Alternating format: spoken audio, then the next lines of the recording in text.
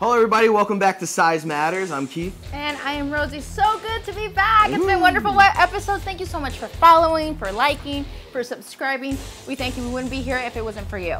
Yeah, so let's keep the party going. So this segment we're talking about is Oh God. thirsty girls. Now, for the people who don't know what a thirsty girl is, a thirsty girl is a woman who uh, I, I would say is a woman who tries too hard. Is a woman who's really trying hard to get attention. Trying her. Okay, for example, we could um, something we were talking about is a girl that goes on her social media, let's say Instagram, and posts pictures constantly, very sexy ones in her lingerie and her underwear. Once in a while, it's wonderful to see that, but when your whole Instagram is based off of that, or every third picture is that, what kind of message are you giving? Right, and I see. I think it's mostly because I'm a guy. I don't. You love mind- that. You love that. Hey, you'll get my likes. You know what I mean? For how long? What's that? For how long? For how long? Yeah. How long? What? For how long will they get your likes? Oh, you keep posting, I'll keep liking it. But I like all I like all sorts of things. But I'm I'm a kind of guy. It's like, listen, I love a woman who is confident, who thinks she's sexy, knows she's sexy, and she likes to take pictures of her body. I think it's totally cool. And it's on Instagram. They have rules and regulations so that you'll know how far is too far. But I think I think it's great. But I do agree, like, show some versatility. You know, show, show, be versatile. You know, show them that like you're not just a sex symbol, but you know you can do other stuff. But I am so for girls who want to show off. Look, know? there's nothing wrong with the celebration of the natural body, big or small. My biggest concern is when I see that is what message are we giving the girls that are following us? That's number one. Number two, how can that affect your career? Because that's something a lot of people don't Okay. think about. You could lose a job or a possible job because of posting those kind of pictures. And then three, what kind of message are you giving to the men that are following you? There's so many women complaining about not being able to date. Everybody wants sex. What kind of message are we giving men that it's okay to disrespect us? That that's all we are? That we're just that sex symbol, or that we're okay with us putting our body out there? Therefore, Right. you can do whatever you want because I'm I'm up and free. What kind of message are we giving? That's true. I think, and then I think it depends on the girl. I think it depends on the person. You know, it depends on what your career. If you're a lawyer or a doctor, obviously those women are probably not going to post pictures like that. Okay, if, if you're, you know, if you're not, if you're an entrepreneur, you don't really have a type of job like that.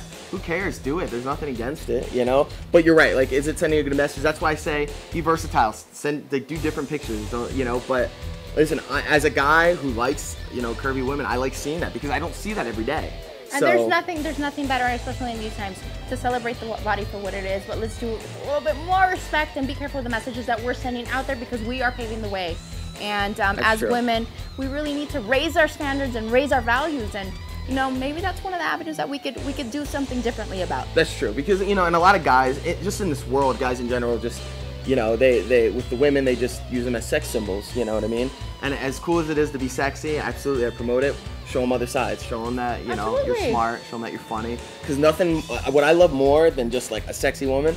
Is a sexy woman who's funny. I think a woman who's funny is great. So th- I love like that's why I'm on Vine all the time. I follow all the all the All the great viners, Oh great my gosh, huh? it's so funny, and then like I, that, that always gets my like. So, but yeah, just you know, keep it sexy. But there's always rules. So like, would you tell them like what would be like what's far? What's like too far? Do you have any like rules or tips or anything? God, for me, it's just really being careful. If you have, you know, if you're on on a set of, of a professional career, um, you have to be careful the pictures that you get out there. Once it's out on social media, you need to remember big companies that are about to hire you, they will go on social media to check you out. So you need to be careful what kind of images you're releasing because it says who you are without words. Image says everything about you.